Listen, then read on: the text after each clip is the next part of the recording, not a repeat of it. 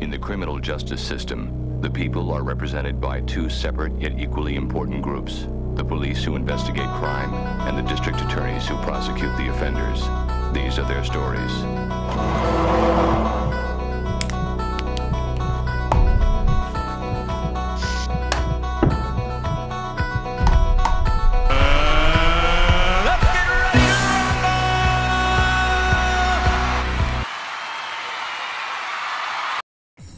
Bahamas. This is NB12 broadcasting from Cable 12 studios on Robinson Road. Here's what's making news tonight. The country surpasses 20 murders this year. The police commissioner worried about the public losing confidence in the force. A Carifta track athlete arrested just days before the games, plus a new base for OPBAT. Those stories and much more on the way, and the Kia DeVoe and NB12 starts right now.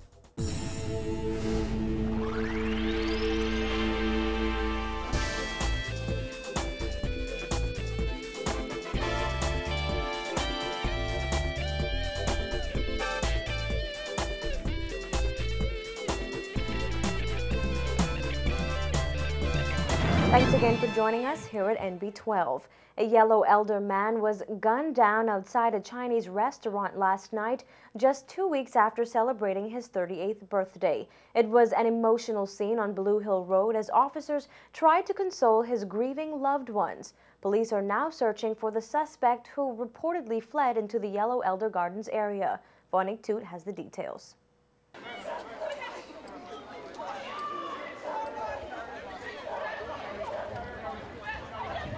Screams pierced the night as yet another family mourned the death of another murder victim. Police say a 38 year old man was shot in the head at around 8 last night, just after he picked up his takeout order from a Chinese restaurant on Blue Hill Road. This male had gone into the establishment where he purchased some food and returned to his vehicle when he was accosted by a lone male who produced a handgun and discharged several shots into his direction, causing, we believe, these fatal wounds.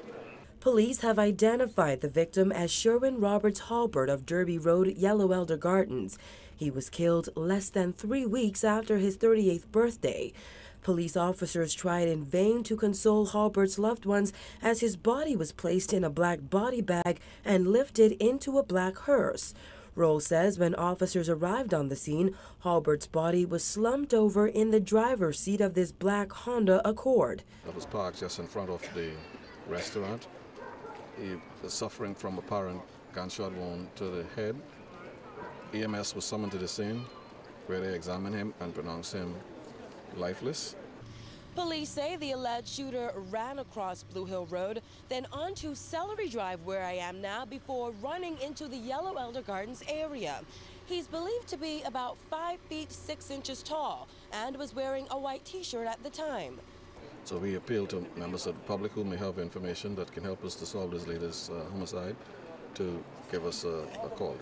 So we're always concerned with, with uh, murders and shootings, and um, you know we hope that persons would learn to settle their dispute in a, in a more sensible way. This latest incident brings the country's murder count for the year to 21. Reporting for NB12, I'm Vonik Toot. Police Commissioner Ellison Greenslade is acknowledging that some members of the public may have lost faith in the police force. He said recent claims of police brutality and abuse have blackened the eye of the Royal Bahamas Police Force. But Greenslade said he is working hard to repair the force's tarnished reputation. Because despite the best intention on, on my part, despite the best intention on the part of my minister, my permanent secretary, and all of us in leadership who wish the best for this country, whenever those things happen, uh, we get a black eye. And when you, when you, um, when your public loses confidence in you, then of course you're on very, very shaky ground. So we have a lot to work to do um, going forward uh, to try to right some of some of these things. Many Bahamians were outraged after the deaths of 20 year old Aaron Roll and 35 year old Jamie Smith while in police custody last month. Pathologists revealed that Roll died from a ruptured intestine caused by blunt force trauma at Southern Police Station. During the ongoing inquest into his death, police admitted to hitting Roll in order to restrain him. Smith died of asphyxiation at the Central Detective Unit. An inquiry into his death is set for March 26th.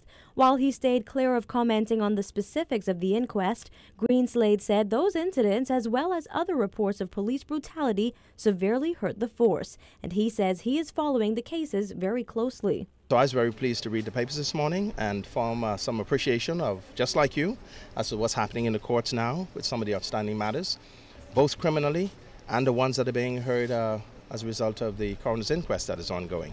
And for me, that's quite refreshing. That is my position. It's always been my position. It's a vibrant democracy, and we must allow the rule of law uh, to take precedent. What is, what is a prominence. According to the commissioner, the force makes a huge effort to prevent police brutality, including training and sensitizing officers, investing a lot of money in seminars, and clearly outlining policies and procedures. He says there are also strict guidelines regarding the treatment of prisoners in custody to ensure officers remain professional, and if they're not, officers are not protected. Greenslade added that officers have been arrested for various offenses this year. You'll hear about uh, a document known as a detention record, an arrest and detention record. That is for the protection of officers and for the citizens. And if the officers get it right and you refer to one of those records, then the record should be in order. If he didn't get it right and it's not in order, well, the chips must fall where they may. That's just the way it is. After the custody death, several groups were formed to protest police brutality. Greenslade said he encourages members of the public to keep the police force accountable, but said they should not rush to judgment. He asked Bahamians not to punish an entire law enforcement agency for the wrongdoings of a few. When you take the overall numbers, the percentage uh, of officers getting into trouble is very small. But the, the thing here is not to be defensive, and we're not. I certainly am not. Um, where we have an incident affecting a member of the public and there is adverse behavior on the part of a police officer, that adverse behavior is not just impacting the person that the officers dealt with, but that person's entire family. So that person goes home and then there's this multiplier effect. Most people that are getting the story is just getting one side of it. They have a right to question. We believe questioning in the democracy is good. That, that is healthy, and I encourage that. One of the Bahamas' finest junior athletes and one of the country's best weapons heading into next weekend's Carifta Games has reportedly been released from a Florida jail after spending the night behind bars. 18-year-old Stephen Dirty Newbold was arrested early yesterday morning for allegedly discharging a firearm in public and resisting arrest without violence. The Florida State University sprinter, who was scheduled to represent the Bahamas for a fourth straight year at the Carifta Games, was one of two track stars from the school to be detained. Reports coming out of Tallahassee, Florida are that the Bahamian quarter miler was allegedly shooting at another person in the pool area at the Campus Walk Apartments in Tallahassee. Newbold, along with four other men, including another Bahamian quarter miler on this year's Carifta team, Andre Wells, were seen by police in the vicinity of the pool and detained. According to reports, Newbold ran when one of the officers mentioned a gun and was later retrieved by a police dog. The Tallahassee police are not stating whether or not the firearm used in the shooting incident was ever found.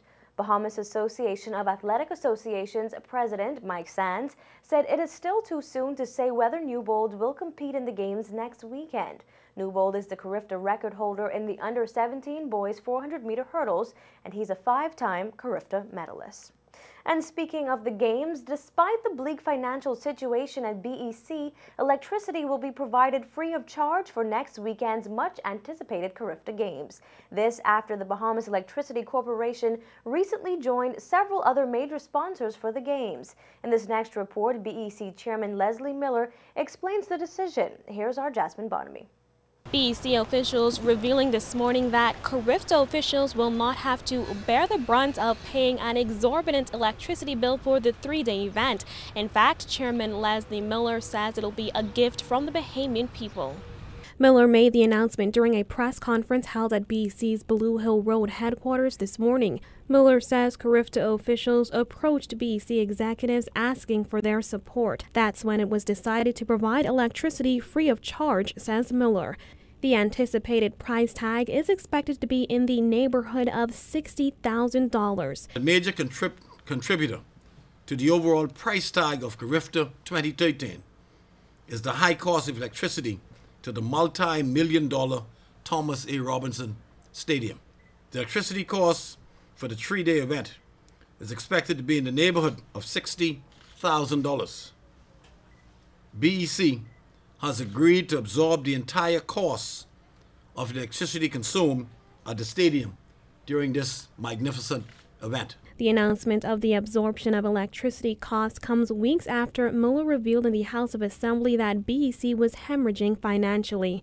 On March 5th in the House of Assembly, he revealed that the Bahamas Electricity Corporation lost nearly $13 million in the first quarter of the fiscal year.